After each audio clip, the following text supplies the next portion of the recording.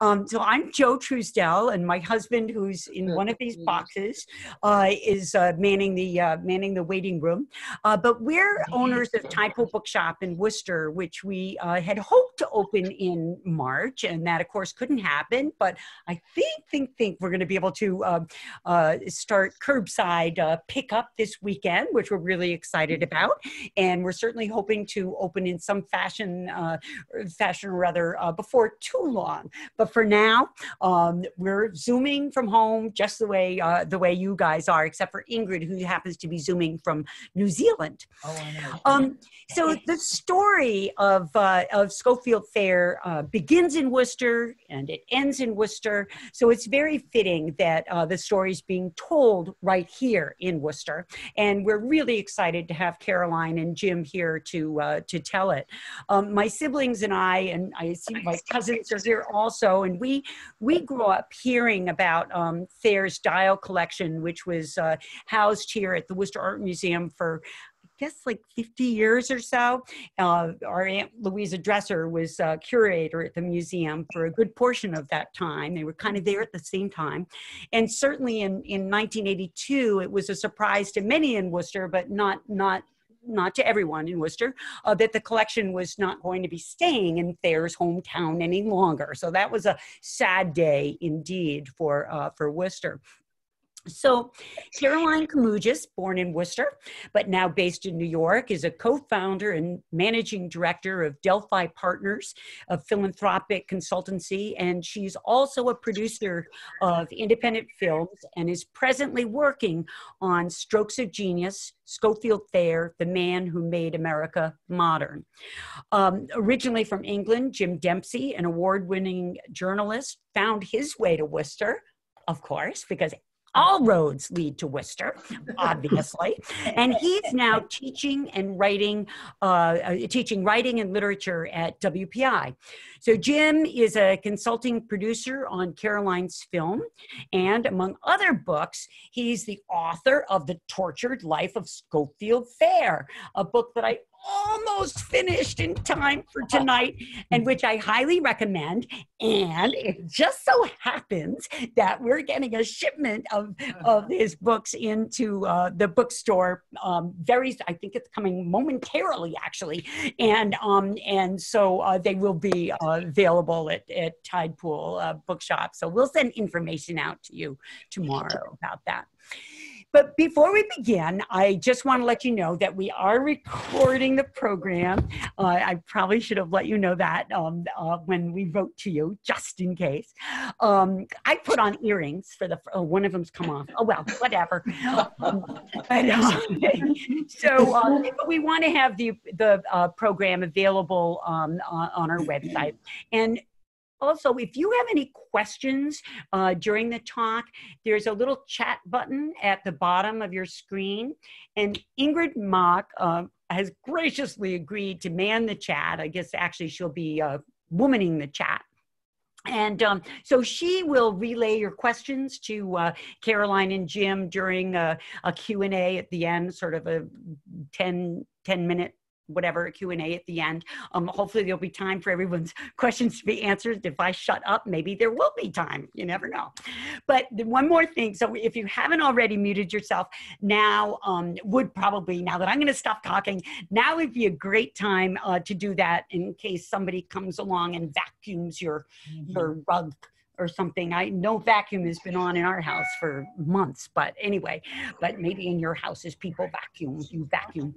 Um, anyway, Caroline, welcome, welcome, and thank you so much for uh, for being here. Oh, you're welcome. So I am going to hope that this will work. I'm trying to do screen share, everybody. Excellent. Um, so let's see.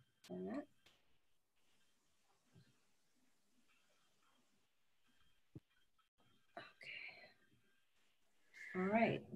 So is, does everybody see a slide that says Scofield Thayer, the man who made America? Yes, we have that.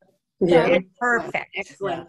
Yeah. And uh, we, you know, as as Joe and Huck said, we did practice um, syncing this all up. But as great as technology is, we, you know, there are always pitfalls as well. So first of all, of course, thank you, Joe and Huck. And one thing that um, actually Joe neglected to mention, she, she talked about her Aunt Louisa Dresser. Louisa Dresser was curator at the Worcester Art Museum, and she curated what has now become the definitive Dial Collection art show, if you will, in 1959.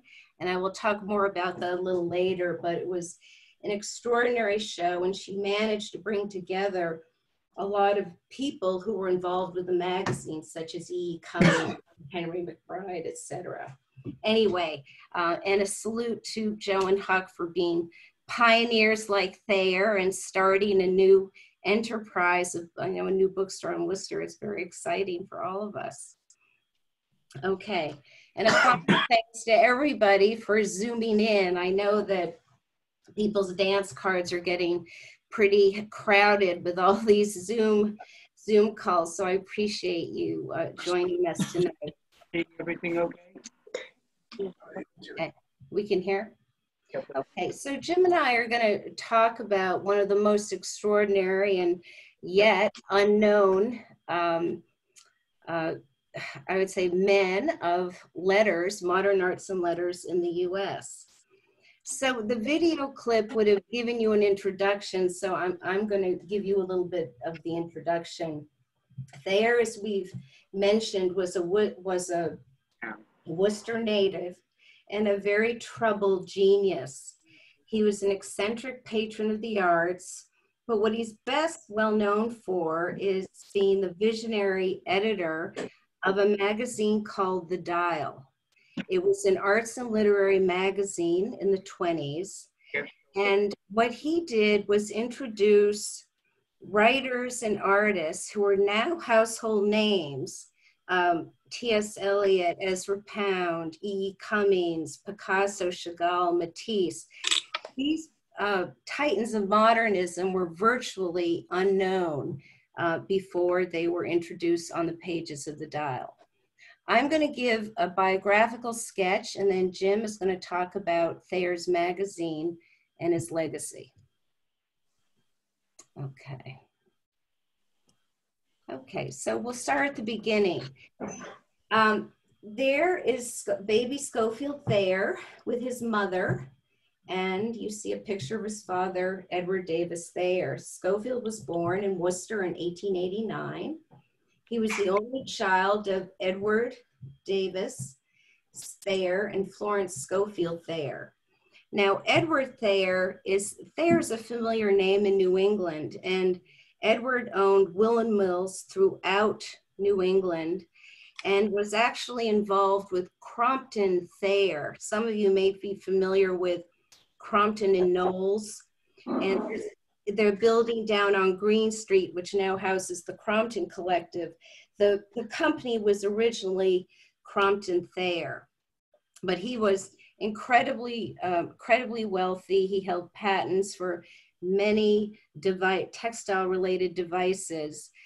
And um, so that was Thayer's dad. Now, Thayer's mother, interestingly enough, had gone to Wellesley College. She was actually in the second class at Wellesley, and she graduated in 1877.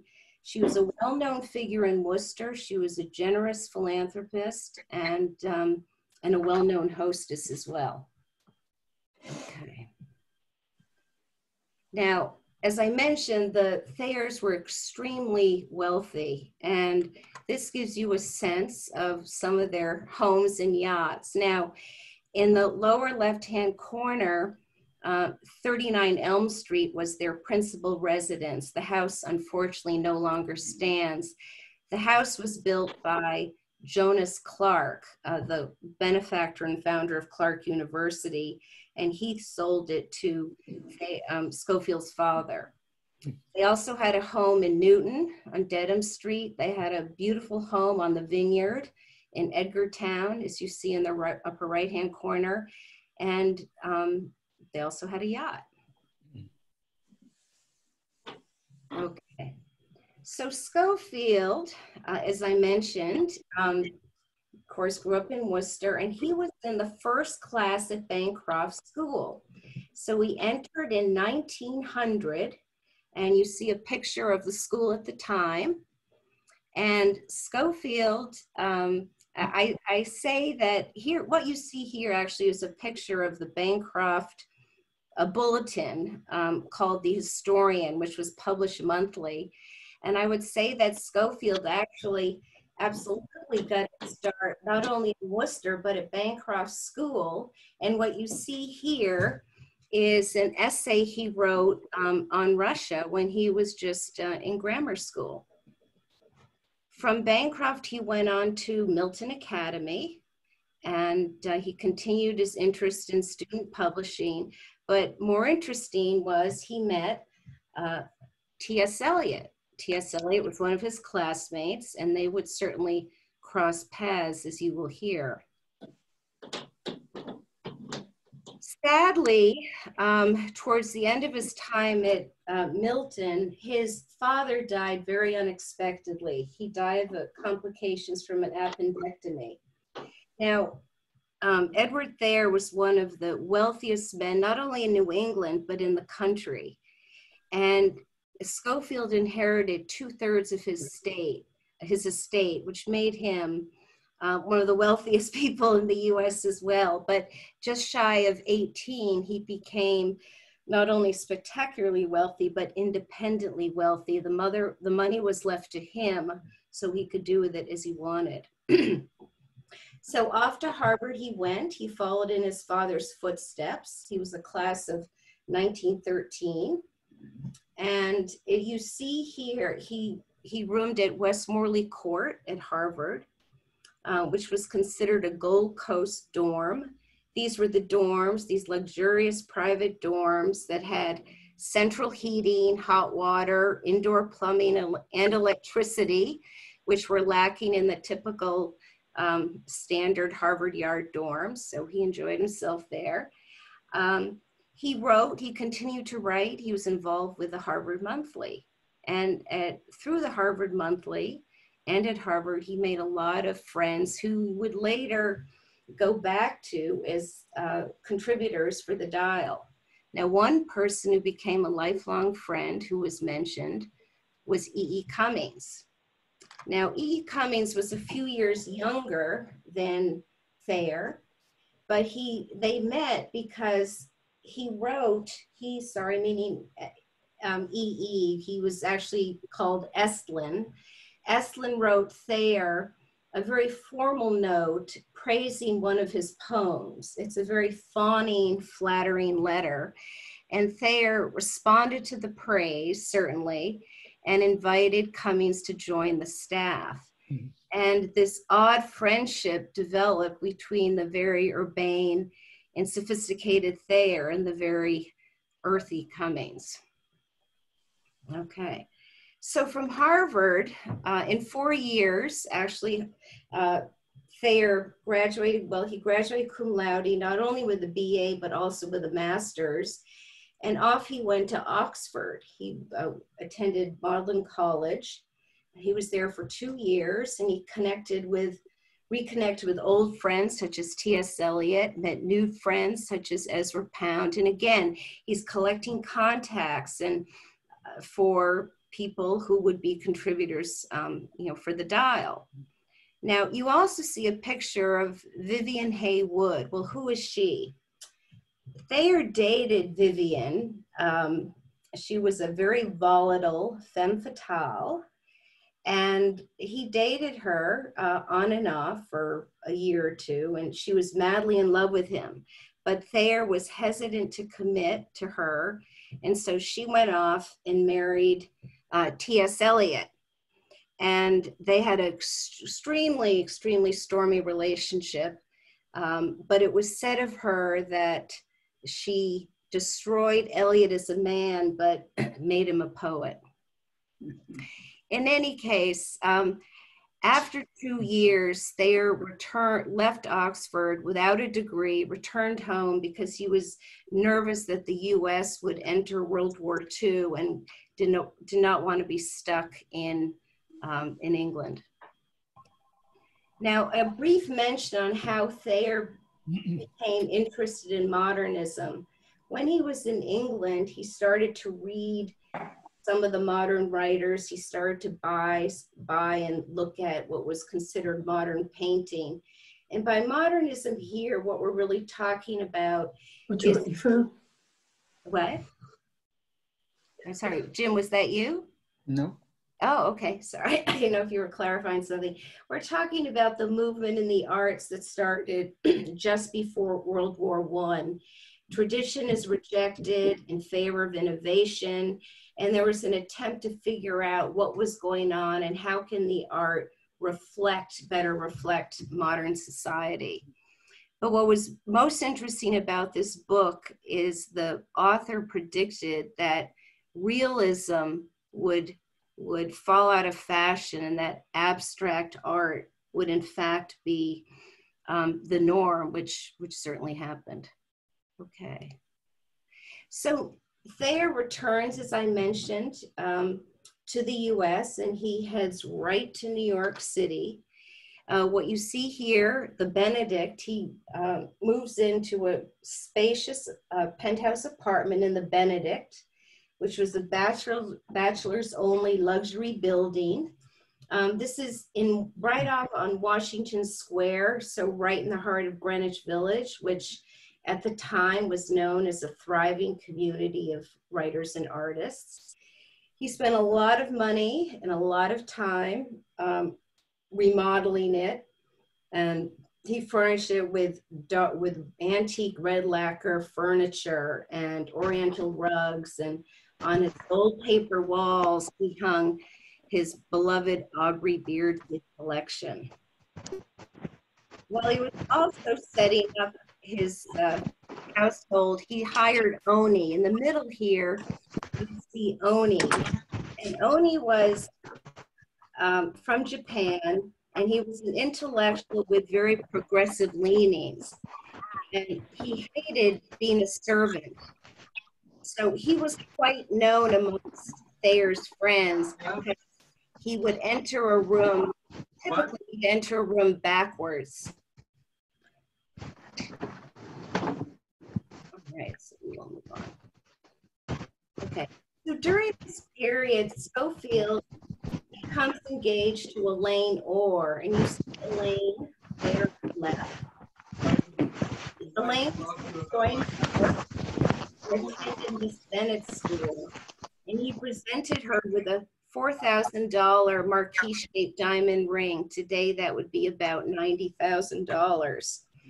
But he had met Elaine on a ship in the summer of 1912 and was in hot, hot pursuit of her for many years. And we have lots and lots of letters, um, actually Yale at the Yale Beinecke love letters that are just extraordinary um, between the two of them.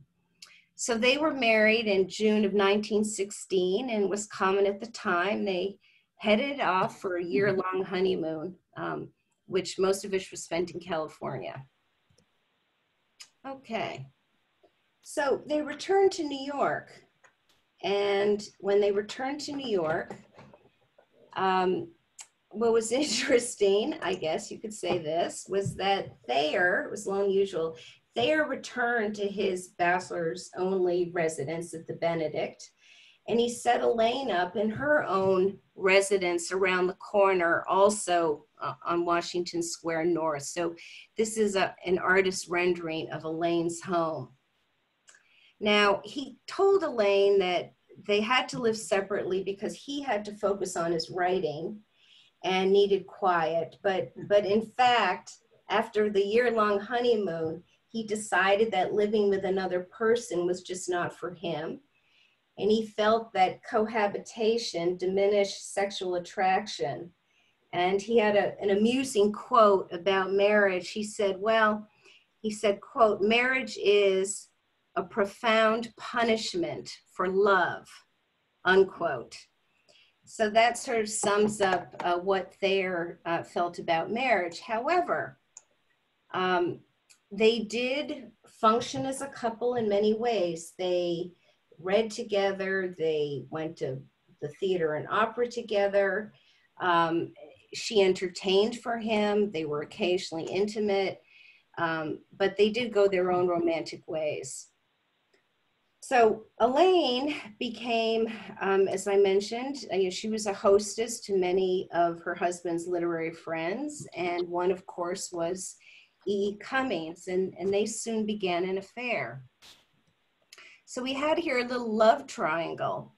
We have Elaine in the mi middle, married to Thayer, and uh, they were occasionally together, but you also had uh, Estlin there.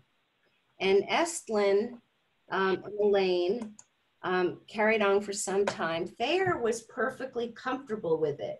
He approved of the relationship, and uh, Estlin um, was always short of money, and uh, Thayer was, in fact, his big patron. And Thayer sent him a generous check and said, This is for the time, energy, and other things you have expended upon Elaine. And so he was, as I said, very comfortable um, with this affair. Now, the, the friendship between Thayer and Cummings continued. He, Thayer continued to support him, um, often financially, and to uh, purchase his, you know, writing or, or art or, or whatever, you know, it happened to be. Now, ultimately, Elaine became pregnant with Cummings' child. As soon as she became pregnant, um, Cummings rejected her and he said he wanted Elaine as a mistress. He wanted to enjoy her as a prostitute. So Thayer actually assumed responsibility for fatherhood, and a little girl was born, Nancy Thayer, in December of 1919.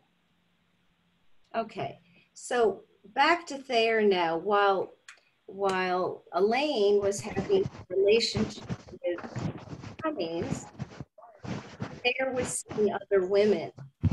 Um, and two are worth mentioning. One is Alyse Gregory. Alyse Gregory, in many ways, was his platonic wife. Um, he, she was his closest friend, his confidant. Um, she herself was an accomplished writer. She was a very prominent suffragette and uh, she ultimately became uh, the, an editor at the Dial.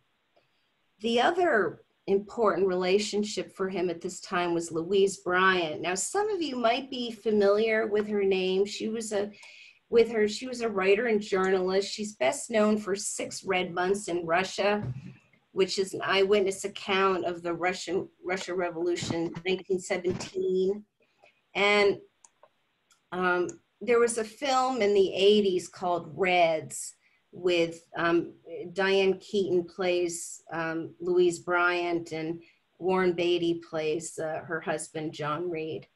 In any case, um, Thayer and Bryant had a pretty passionate relationship, and uh, we figure it must be pretty important because he kept a picture of a topless Bryant in his personal papers. Um, so it must have, uh, and, and Elaine did needle him about it as well. Okay, so other, two other re important relationships to mention.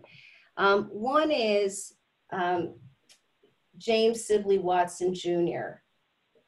James Sibley Watson had gone to Harvard as well. He was a classmate, and Thayer had fixed um, up uh, James Sibley Watson with Hildegard Lasell, who was actually from Whitinsville. That name might be familiar to some people.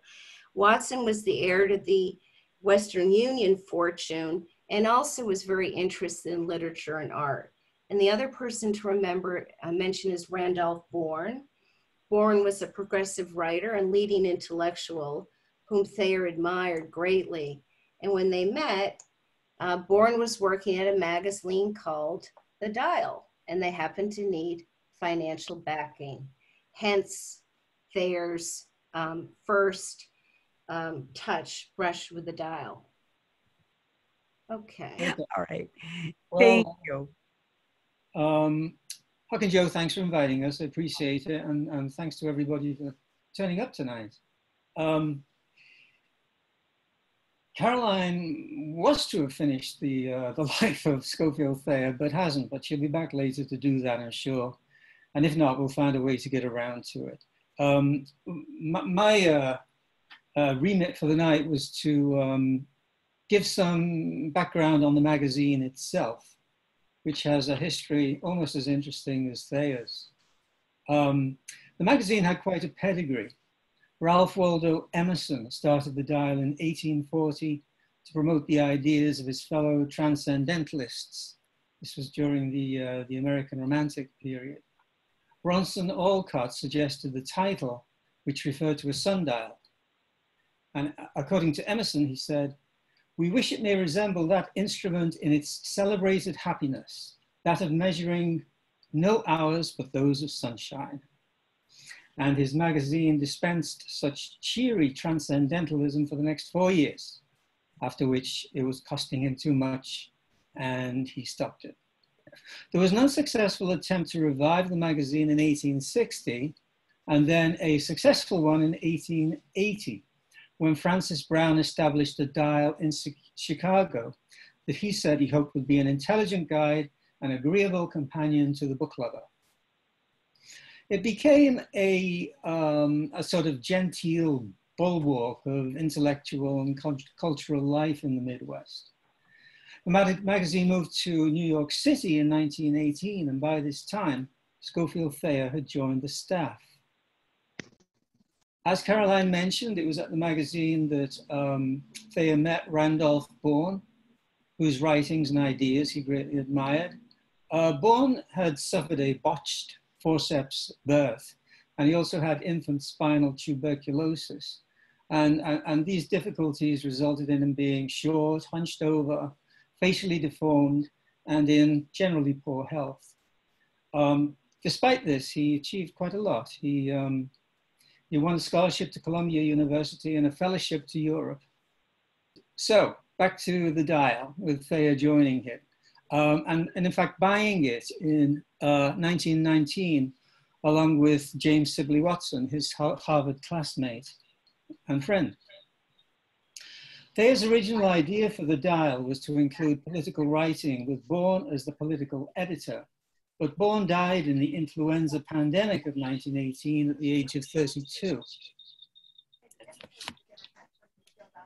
At the age of 32, and wanting no one else for the job, decided to forego politics and focus on literature, art, reviews, and critical essays.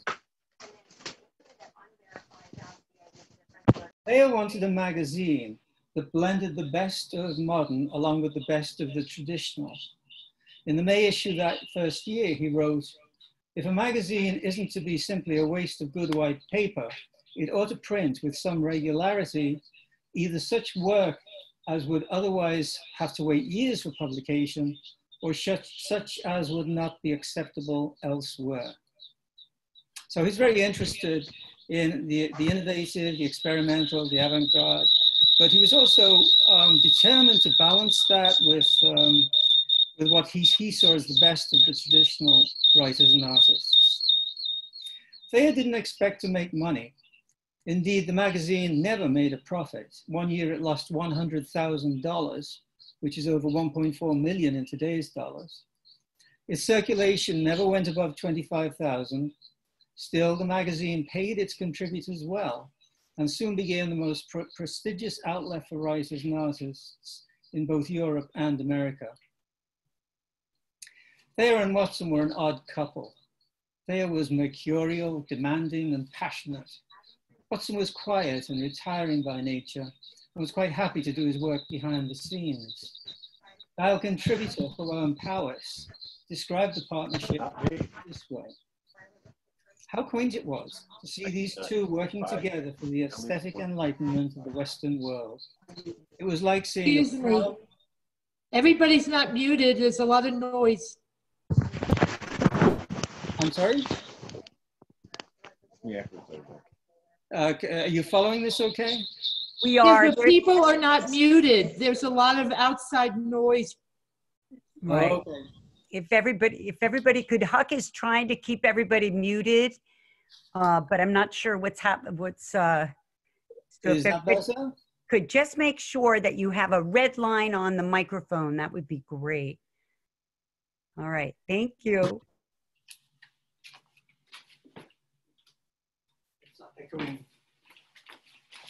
Okay, I'm back. Let me go through that quote again.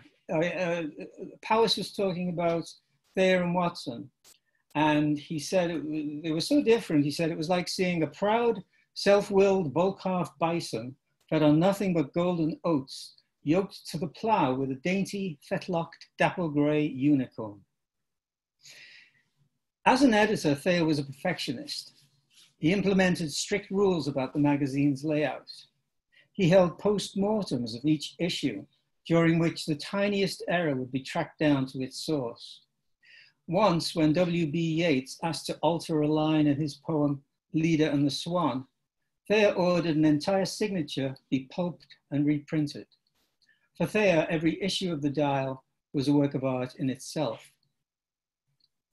Despite their differences, Thayer and Watson shared a passion for promoting young writers, and in 1921 announced the Dial Award, a $2,000 prize. The idea was to give creators time to create. It was intended to, quote, ensure leisure through which at least one artist may serve God or go to the devil according to his own lights. Eight awards were given. Um, if the slide is up, you'll see they are. Sherwood Anderson, T.S. Eliot, Van Wyck Brooks, Marianne Moore, Ian Cummings, William Carlos Williams, Ezra Pound, and Kenneth Burke. One or two names have um, faded somewhat into the background, but the majority of them were, were really the, the highest of the high moderns in, in the 20th century. The highlights of the magazine. Um, even a century later, the list is still pretty impressive. Uh, older revered writers such as Yeats and Joseph Conrad and George Moore rubbed elbows with the newer talents of E. E. Cummings, T.S. Eliot, D.H. Lawrence, Marianne Moore, Ezra Pound, and Virginia Woolf. Seminal works first appeared in the magazine's pages. Eliot's The Wasteland and the Hollow Men, Woolf's Mrs. Dalloway, Lawrence's The Prussian Officer, Pound's Hugh Selwyn Mauberley, E. E. Cummings' Buffalo Bills, and Thomas Mann's Death in Venice. Its foreign correspondents were Eliot, Pound, Mann, and Maxim Gorky. The Dial was at the center of a series of artistic feuds. After Thayer rejected Ernest Hemingway's poems, Hemingway referred to him as Scofield buggering Thayer. Thayer was, uh, despite the slander, undoubtedly heterosexual, but Hemingway was notorious homophobic and tended to apply this label to anyone he didn't particularly like. Albert Barnes, a doctor turned art collector, with a celebrated modernist art collection now in Philadelphia, started out as an ally and wrote a piece for the Dial, but turned on Thayer with such vehemence that Thayer, who was then tipping towards serious mental instability, developed a paranoia regarding Barnes and after a particularly disturbing confrontation, even bought a pistol to protect himself. Thayer developed close relationships with many of his artists and many created portraits of him. Here are a few.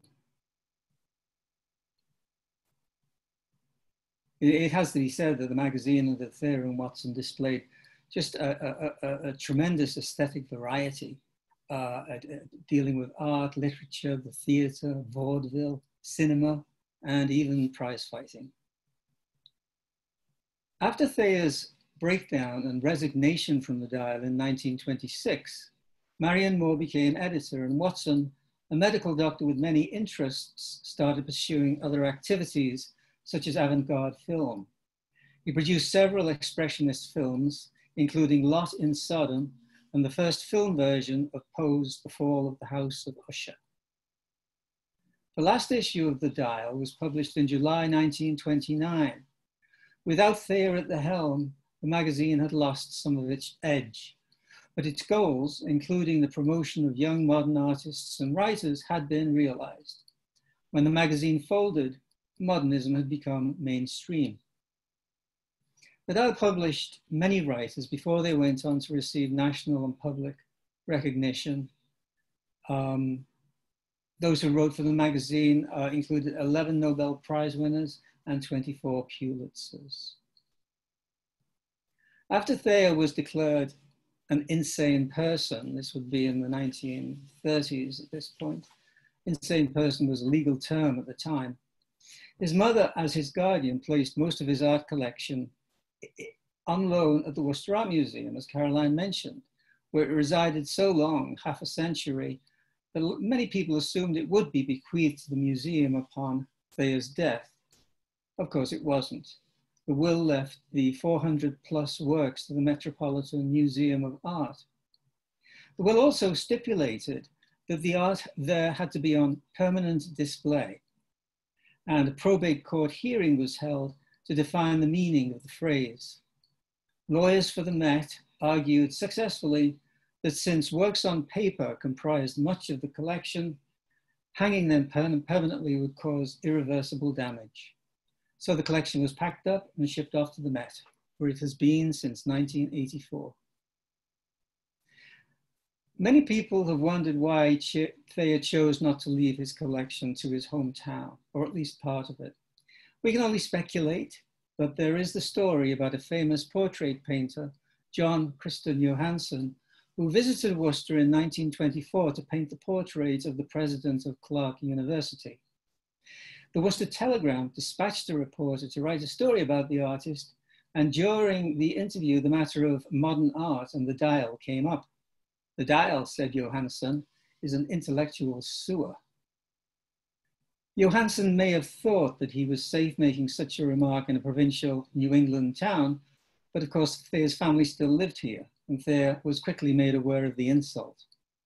Johansen tried desperately to backpedal and apologize, but to no avail. And Thayer wrote an editorial for the Dial that excoriated Johansen, his ideas on art, Clark University, and Worcester, whose cultural outlook he compared to an alpine village. Also, during the March 1924 exhibit of Thayer's collection at the Worcester Art Museum that Caroline mentioned, um, to Thayer's irritation, a large Braque oil painting and a, a, nude woman of a nude woman and a Pablo Picasso drawing were pulled for fear of offending the conservative. The following year, he drew up his will, leaving nothing to Worcester. In addition to his art collection, Thayer left an equally rich trove of letters and manuscripts, which offered a unique series of epistolary interactions among the editors of the Dial and the writers and artists it featured.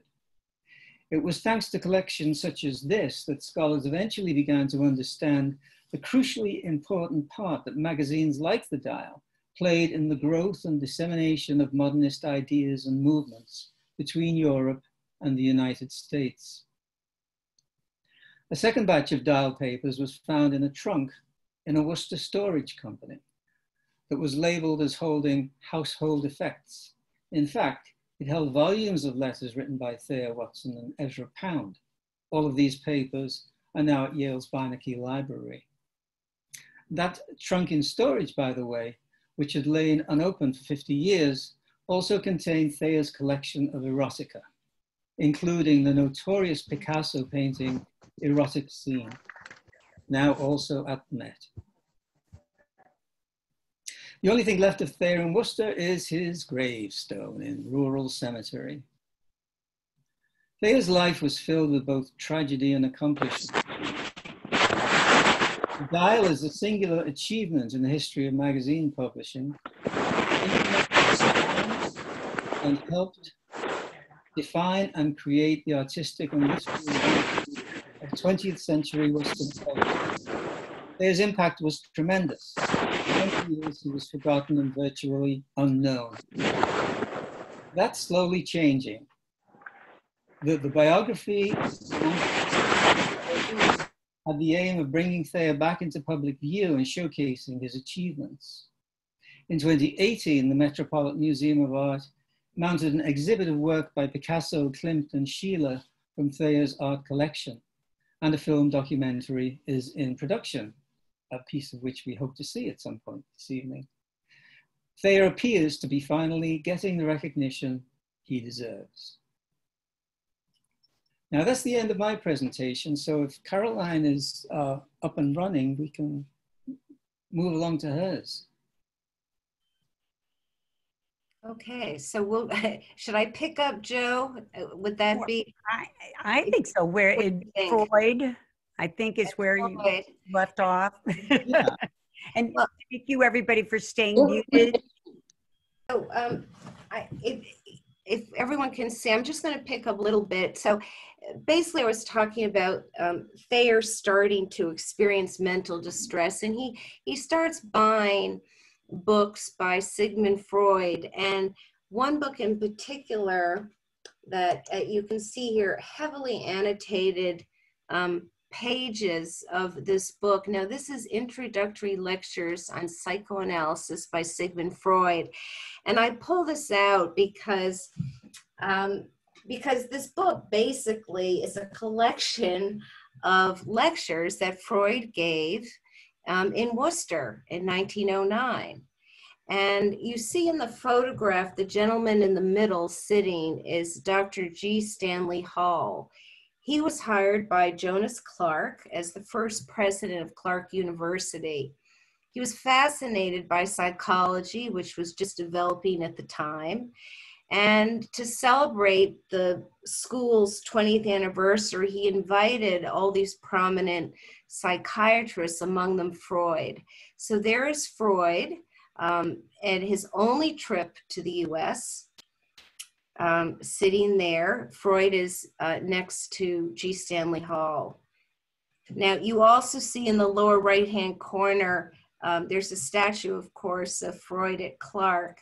And I thought this was just a fun picture to show uh, he is appropriately masked, a sign of the times.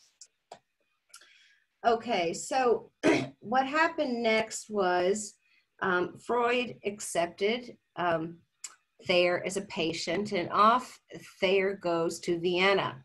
He would spend two years in Vienna, and he did he did not get the help he wanted um, from Freud. Freud, remember, was uh, his area of expertise was neurosis, and um, Thayer probably was dealing with psychosis. He exhibited uh, symptoms of paranoid schizophrenia, which Freud was not equipped to handle.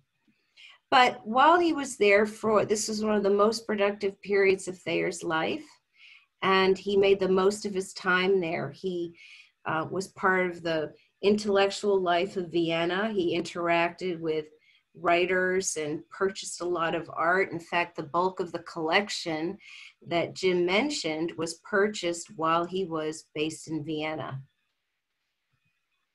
Okay, another another major accomplishment while in Vienna was this book called Living Art. Now, these books are extremely hard to find. These the Worcester Art Museum has a copy. And Jim Welu told me a, a very interesting story that when Jim was head of the art museum, they would get calls because the quality of the reproductions in this book that they wrote are of such high quality, people think that they are the real thing.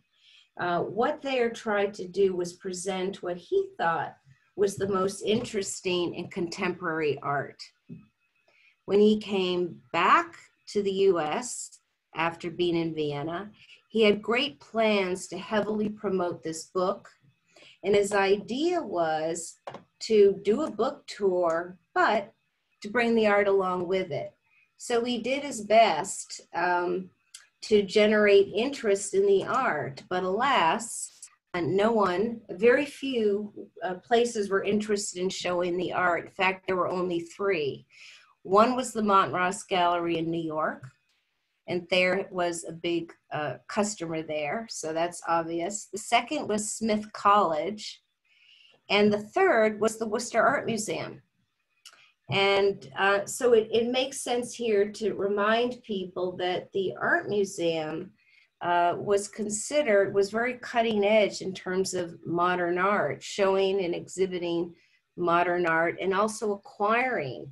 The art museum was one of the first to show photography, to acquire works by Monet, Redon, and Gauguin. So it was a very apt men, uh, venue for this collection. However, Thayer's decline accelerated, and by 1926, he had resigned from the magazine. Uh, Marianne Moore, as Jim mentioned, uh, took his place. And after that, he occasionally um, would submit poetry. He made uh, decisions about um, the Dial Award, but uh, for all intents and purposes, he was um, uh, he just wasn't as actively involved. He couldn't be. Now, I, I take a moment here um, to to a comment that Aristotle famously said that there's no great genius without some touch of madness. And this idea that there is a link between creative genius and madness is something certainly we've heard about, read about, it's not new. Um, well, obviously mental illness is not necessarily, not necessary for creativity to flourish, history shows that there are many famous people in the arts with mental illness. And we, we just did a, a little sampling of uh, some of the hundreds of writers and artists in the dial. And a random sample of um, shows that um, during, well, probably well over a third suffered from mental illness. And I, I bring this up because um, one has to remember that you're looking at the names of people, many of whom were unknown at the time. They became giants. And um, this, this mental illness that uh, studies show that there's a correlation between, again, uh, mental illness and creativity. And it's been suggested that those with mental illness see the world in a unique way and um, that could be true and you know certainly thayer did because he was able to choose to to select um, so effectively um, these writers and artists who have certainly stood the, stood the test of time uh, by 1937 thayer was declared legally insane and for the next 45 years or so he lived a very secluded life surrounded by caretakers and guardians, primarily on the vineyard, but he would uh, travel to a home he had in Florida as well. He continued to write in English, French, and German, but was often incoherent. He was an avid sailor and sailed until he was in his late 70s. He was always very fit and good shape. Um, he finally died in 1982. He was 92, and he died at his home at uh, Longtree Cottage in Edgartown. Um, and, and I'm going to quickly go back to the art uh, that Jim mentioned because I think that um, you know the art, as we've mentioned, had been at the Worcester Art Museum for decades. And here, just to uh, some of you, I'm sure, remember seeing uh, the collection. But just to remind, these are some of the, the highlights. So, you, you know, Matisse, you see Matisse, Lachaise, Picasso, Schiele, Kokoschka, Bonnard, Lautrec, Matisse, the scream in the middle. Um, it gives you it gives you a sense of Thayer's taste um, Chagall, Nadelman, Marie Laurencin, Braque. In the upper right hand corner, the nude, the Braque nude, this was the painting that Jim referenced that um, the museum took out of the 1924 exhibition. Um, so just one, one more thing I want to add uh, is that um, uh, again, I want to stress that uh, Thayer had an incredible eye for talent. And I, what is amazing to me is again, what he was buying virtual unknowns. And yet here we are uh, a hundred years later, and these are the, these are the artists that we consider important.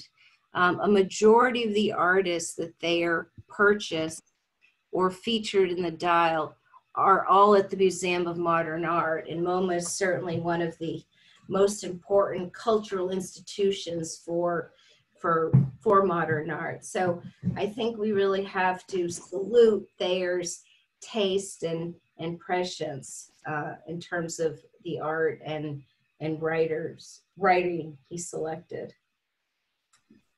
Okay, so I think we're happy to take questions.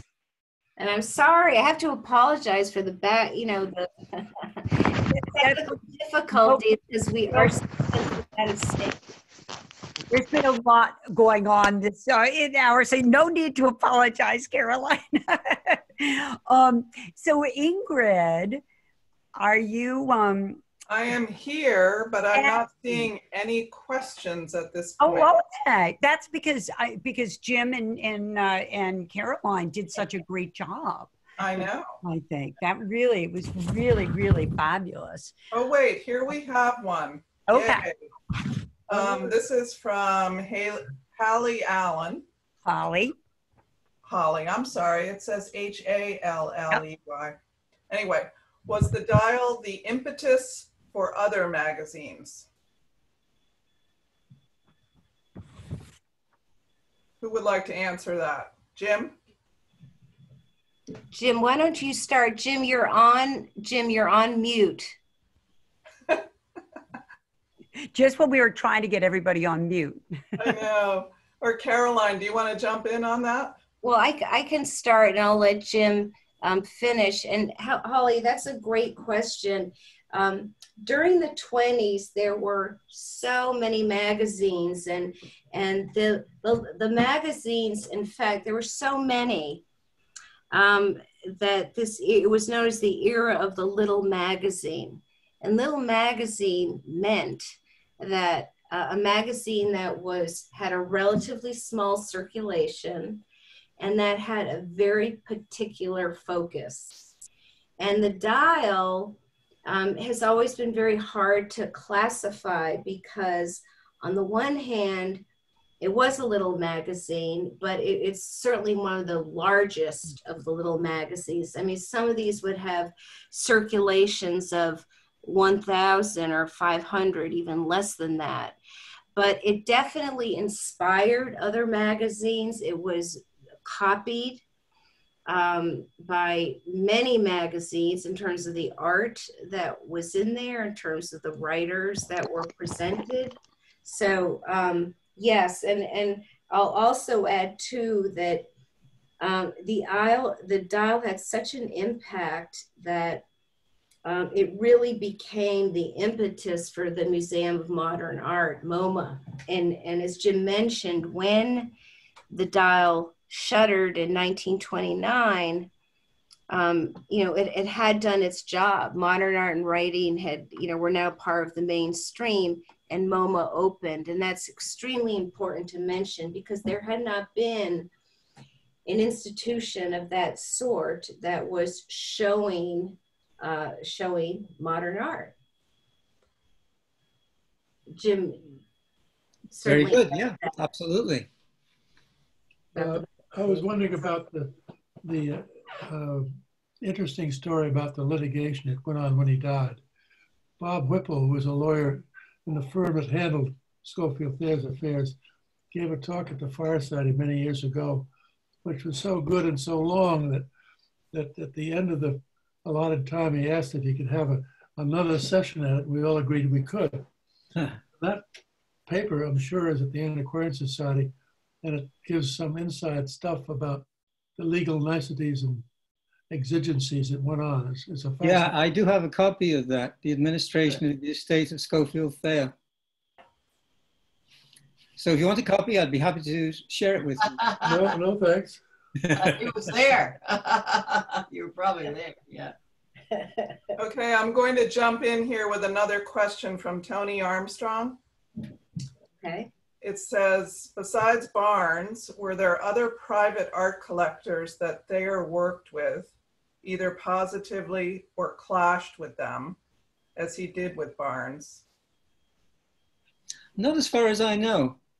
I mean, I mean the, the, the, there was always rivalry among the art collectors because everybody wanted the good stuff at the cheapest price. Um, but it, it was a really one-off situation with Barnes. Barnes was Barnes was a bully. Yeah. Um, you know, he grew up on the on the tough side of town, and he boxed as a young man. And even though he became an MD and all the rest of it, he he always kept that that that, that roughness to him. And I think with um, with uh, Thayer's paranoia, this this this blew up in his mind, and Barnes became a kind of bête noire that, that he just couldn't shake.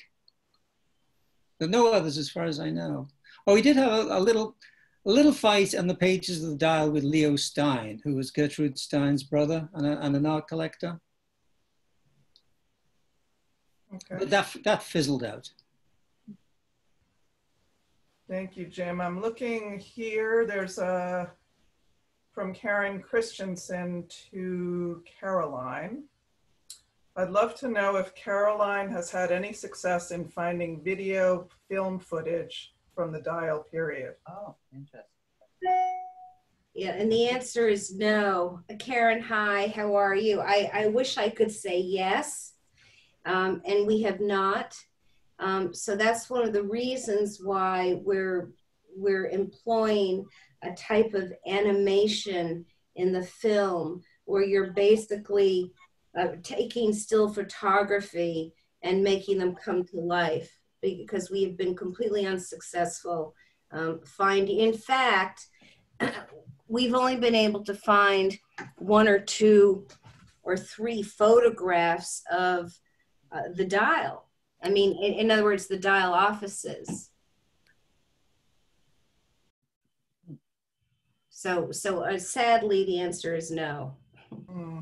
But if you find anything, let me know. Right, and one of those was the photograph that I have taken in the dial, that was taken in the dial offices. Well, I think, right now, are you talking about the Because- Mumford Because, photo? because Watson took a photo of Sophia Wittenberg in, that, that's actually in the dial.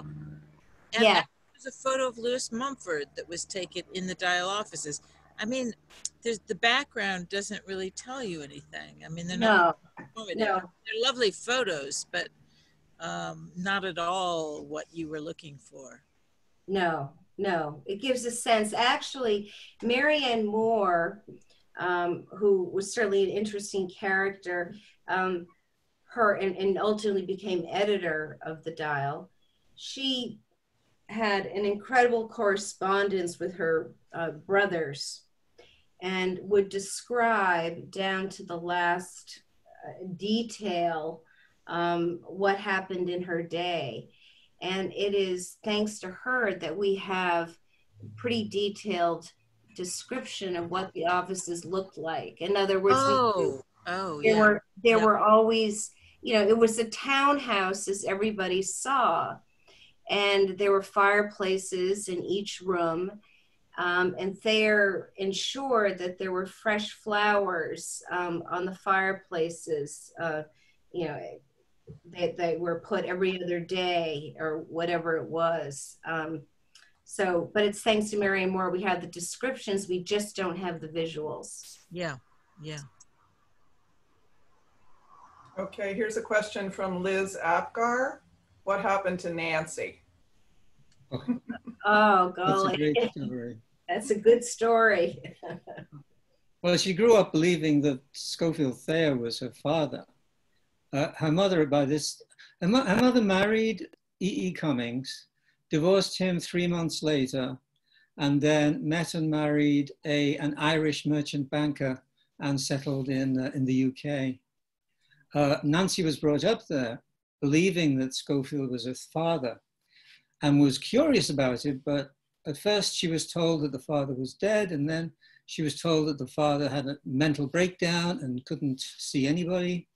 Um, and the strange thing was, it, it, it, it, it finally came out that she met Cummings in New Hampshire, not knowing that he was her father. And she started visiting him, and he started painting her, using her as a model. And uh, at one point, she said something that made it sort of obvious that she had something of a crush on him. And it was at that moment that Cummings said, You do know I'm your father, don't you? And she hadn't known that at all. She was a, she was a young mother herself at the time. she married, um, Nancy married uh, Teddy Roosevelt's uh, grandson, uh, Willard Roosevelt. And they had met in Washington.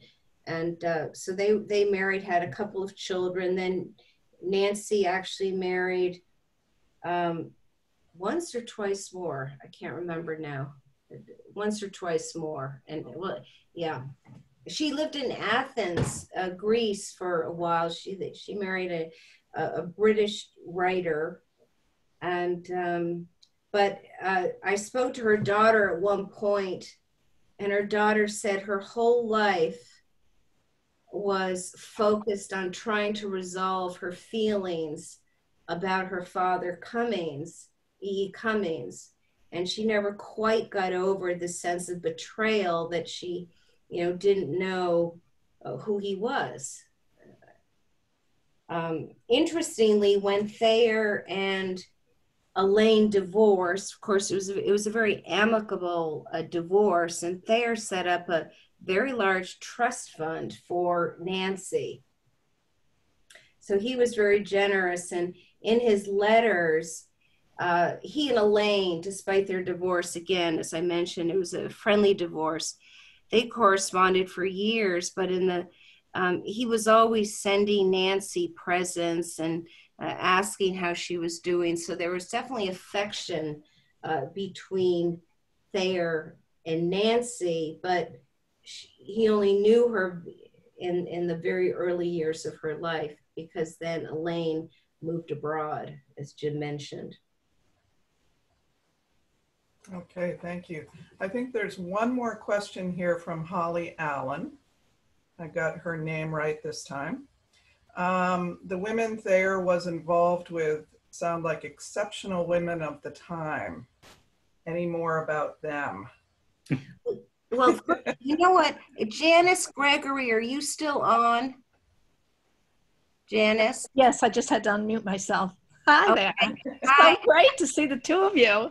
And Well, It's, great to see you. I want to I want to introduce everybody. This is uh, Janice Gregory is is a writer um, from a long family tradition and historian. And her, the Alyse Gregory that I flashed on the screen, Thayer's dearest friend and confidant, uh, was Janice's great aunt. Wait, great yes, that's right. That's right. one great aunt One great. one great. But Janice, if you would um, say a few words about her, she she was just she was recently in England at a a, a, con, a conference and spoke about um, spoke about uh, her um, about Alyse. So anyway, maybe you could get it from the horse's Oh. mouth. I don't know. It's you know when you know so much about somebody, it's hard to do sort of a thumbnail sketch of it uh, without going on and on. Um, I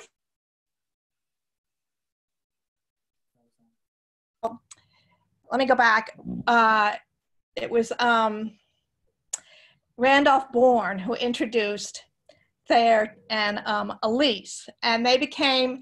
Alyse had a little coffee shop. She was not really very she was a writer and she was trying to um, to uh, make her way as a, a writer by running this coffee shop that was right next to the dial and so all the dial artists and um, writers would come down including thayer um, to uh, review manuscripts and to talk and and alyse also had fireside salons and um, it, it amazes me that thayer really saw in alyse um, her talents. And I think she had two talents. One was the um, one was she was a very good writer, but the other thing was she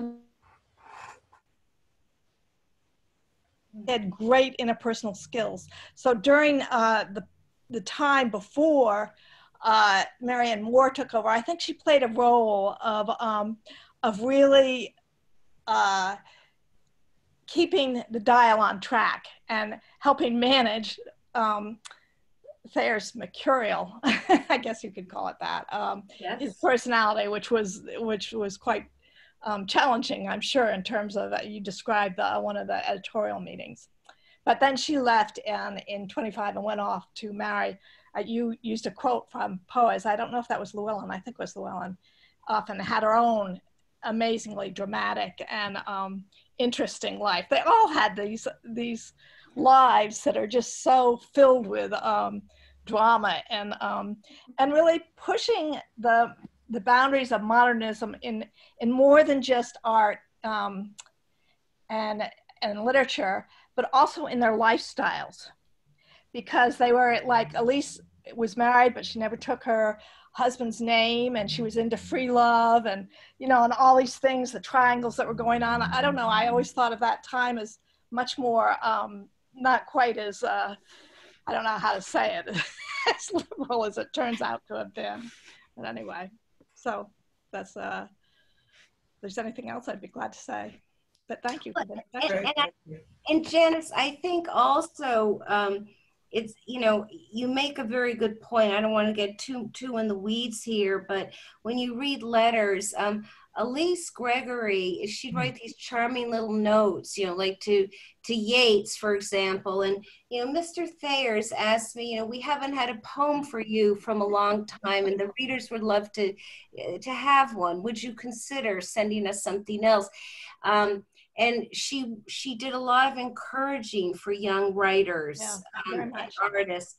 When you read the Marianne Moore correspondence uh, her letters are extremely different. Uh, there was one rejection letter. Well, maybe you should reconsider uh, being a writer. I mean, a completely different, you know, approach.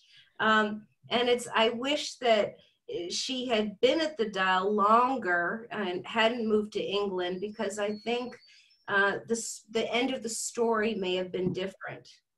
Yeah, I you know I, I have I have wondered that but I think the dial with, um, you know, with Thayer's mental illness, um, it, it, Alyse really left a very propitious time because I, I it, you know, much much of the modern um, liter- maybe there was more to discover, but a lot of it had um, it had already been presented in the dial, the, the literature and the art, and even the New Republic. I, I recall reading something where they were saying, well, the dial, you know, they've lost their edge, I don't know how long you can keep that kind of edge because there are only so many stars, probably. I, you know, it's up to conjecture at that at one time. So anyway. Well, you know, but it's interesting, Jim. You mentioned Finnegans Wake, and I mean, I think that's a good example. I mean, Moore was too prudish um, to likely to to accept that for publication and so they missed on you know they missed out on a great literary scoop yeah scofield would never be that prudish i mean he would have no right? he liked to push the boundaries right yeah yeah yeah well i think it, part of what uh, holds the fascination is how brightly the flame burnt and then quickly went out right i mean that's sort of what it's always this question of well what might have been right right no, exactly. No, well, I have, I do have a question for you now that I'm on. Um, uh, when will your film be coming out? Do you think, and how are you going to release it so that people can um, can see it? Um, well, you know, I wish I could answer that. We we were set for um, a series of final shoots in March, and alas, COVID intervened. Right so we are extremely behind and i i just don't know a, a lot yeah. will depend on what the what the rules are about shooting access etc and um, there are a lot of people involved in the, this sort of double series of shoot that we needed and i don't know when we'll be able to do it so we're we're at a standstill you know i thought of you really, I thought of you right when the COVID. I thought, oh no, how could this be? well, it'll come out at the right time, right? Yes, it'll yes, come out. I hope so.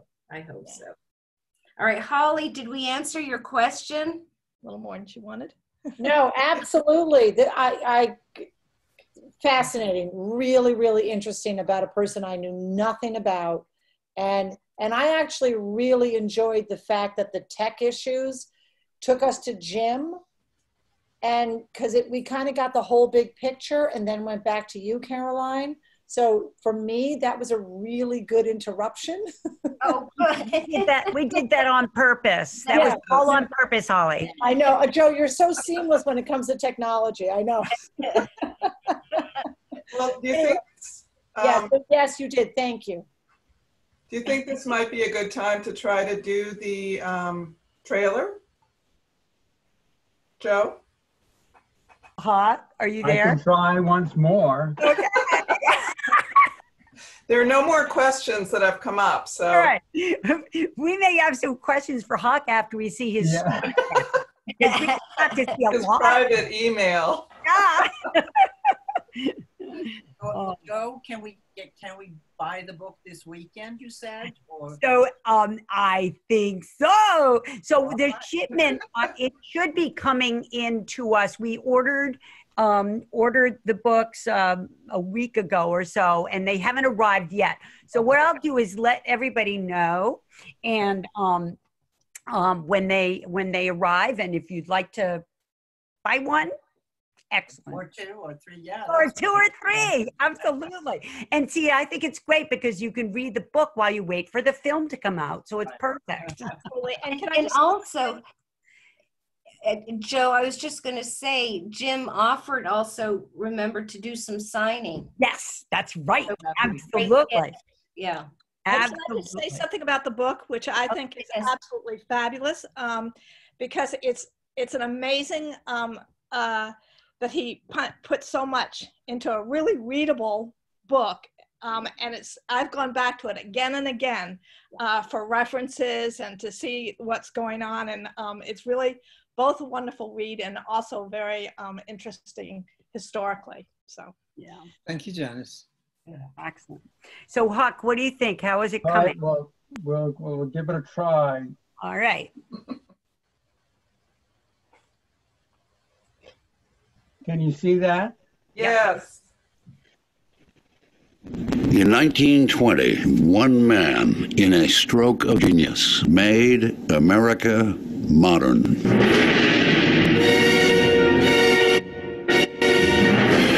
To a provincial people, he brought Picasso, Matisse, Chagall. To an insular nation, he introduced Eliot. He who was living is now dead. We who were living are now dying with a little patience. Pound, For three years out of key with his time, he strove to resuscitate the dead art of poetry. E. E. Cummings, Here is the deepest secret nobody knows. With his small magazine, The Dial, he set the cultural agenda for a generation. On a site long occupied by the Rockefeller family stands the new fashioned home of a nationally important institution, the New York Museum of Modern Art. The most brilliant editor of his generation, he published nine Nobel and 23 Pulitzer Prize winning authors, amassed a fortune in modern art, was loved by Marianne Moore, slandered by Ernest Hemingway, psychoanalyzed by Sigmund Freud, and went slowly insane.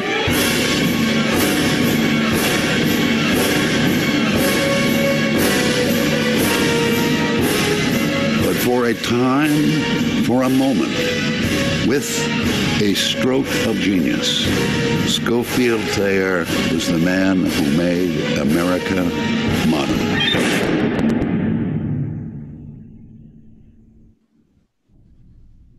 You know, we had actually, yeah, that's uh, thank you, Huck. We had we had actually um, wondered wh- whether we should show it at the beginning or show it at the end, and actually, I think you know, as Holly was saying, sometimes technology works in our favor. I think it was great to see it at the end because just don't sort of understand what happened. While you were all reading my email, I was seeing the film. well, we saw it this time. But I um, want to thank Ingrid. Thank you for for uh, fielding all the questions and whatnot, and uh, and uh, Caroline and Jim. Uh, what a totally fascinating um, presentation, and uh, it was so. I thank you for for managing throughout all the the technology issues and things like that. But it was absolutely, absolutely fabulous and great questions, everybody. And so I, you know, applaud you and thank you very, very much.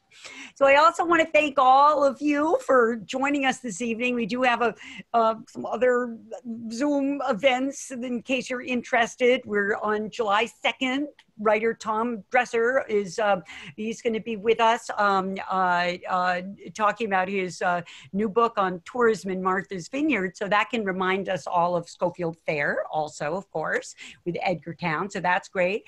And then another with Seth Richardson from the University of Chicago, which will actually run for about four weeks. But I promise you won't have to stay on Zoom for four weeks. Um, it's um, it's it's it's through a series of of videos uh, Seth will guide us through a reading of uh, the Epic of Gilgamesh, and uh, so it'll culmin- culminate in a discussion and Q and A Zoom in either late July or early August, whenever whenever we get to that.